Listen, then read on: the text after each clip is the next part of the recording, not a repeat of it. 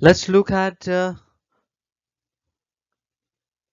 a further different model, which is not nucleation growth model, but diffusion-based model under very low conversion.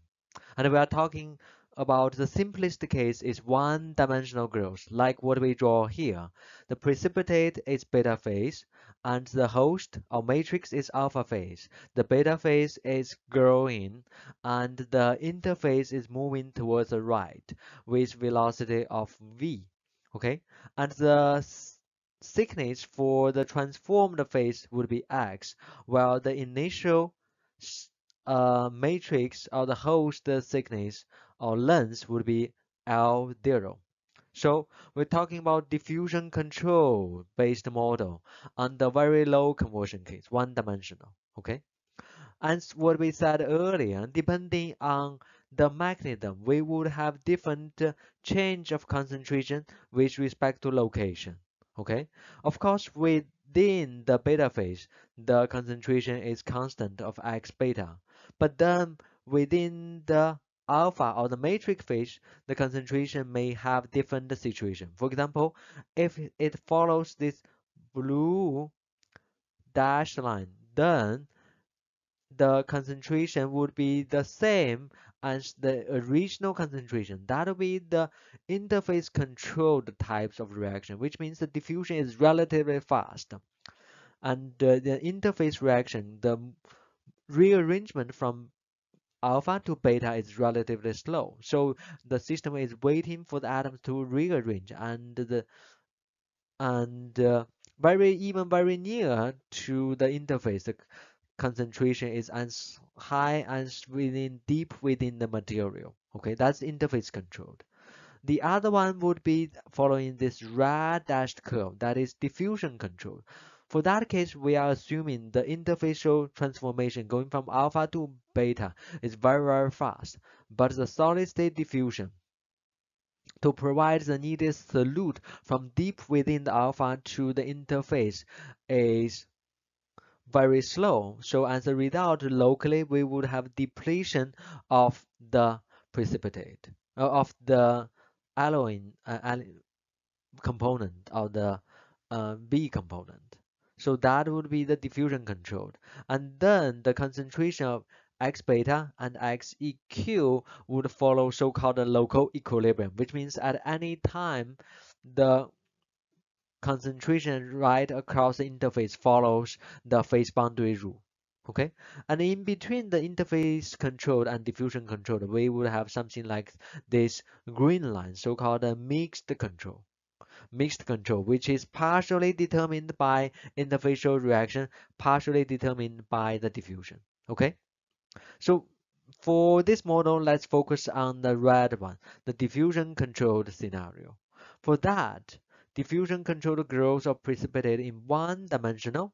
From earlier, if you remember, the thickness to the power of 2 or the square of thickness is a constant times the transformation time or reaction time t. Again, d would be the diffusion coefficient and the delta x0 would be the undercooling. The undercooling. And the x beta would be the equilibrium concentration of beta phase. XEQ would be the equilibrium concentration within alpha phase, right? If we are assuming local equilibrium. Okay, so this is the relationship that we have. The thickness to the power of 2 or thickness square equals constant times t. And in this case, people generally find the precipitate growth follows parabolic relationship, which essentially just the same thing of x squared equals constant times t, or if you write in a different way, x squared equals k prime times t. Okay, and then the fraction of conversion, assuming low com conversion, the fraction of conversion would be the thickness x of the transformed section divided by the initial section thickness, x0. X is the instant thickness, L0 is the initial thickness, assuming no volume change in the phase transformation. x divided by x0. And don't forget x would be the square root of k prime times t to the power of half. So this relationship gives us the extent of conversion at any given time t. Okay? And of course, this equation is not very precise because as you can easily see, for this equation, when t goes towards infinity, L0 is constant, K prime is in, in constant. If t goes towards infinity, the fraction of conversion goes towards infinity, which obviously is incorrect. That's why we say this model is only applicable to very low conversion, okay? Far from um, the complete reaction, okay?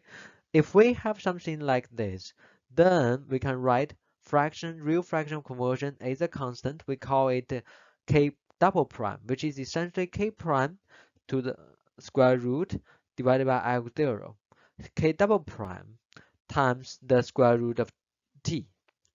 This gives us the fraction of conversion for diffusion-based model. How fast does it grow? It grows limited by diffusion at the very beginning stage of the phase transformation. Okay? And of course, for this, we can also rearrange f squared. Both sides take the power of 2x f squared to equals to the kt. Okay, t to the power of half square would be t, and k double prime we call square we call it the k. Okay, this tells us the real fraction conversion with respect to time t, and it follows a parabolic relation.